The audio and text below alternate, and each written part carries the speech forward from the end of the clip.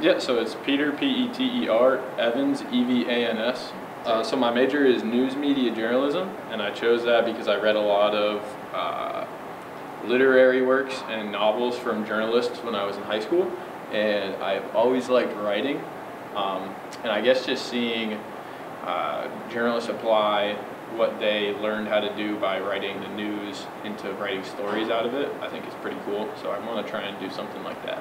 Oh yeah, uh, me and the buddies are gonna get together. Uh, probably pop open some chips and dip. You know, uh, sit in front of the sofa, sit in front of the, the TV on the sofa all, all uh, afternoon, and uh, pretty much just watch uh, Tom Brady get another Super Bowl win because the Rams don't have anything. Let's be honest, it's gonna be all Pats all day. Oh, well, that's an easy one. It's uh, it's got to be uh, 435 community television with uh, Dr. Chad and I.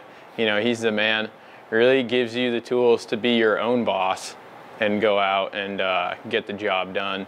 And he's pretty much like the best professor in the journalism department. So it's a win-win for everybody.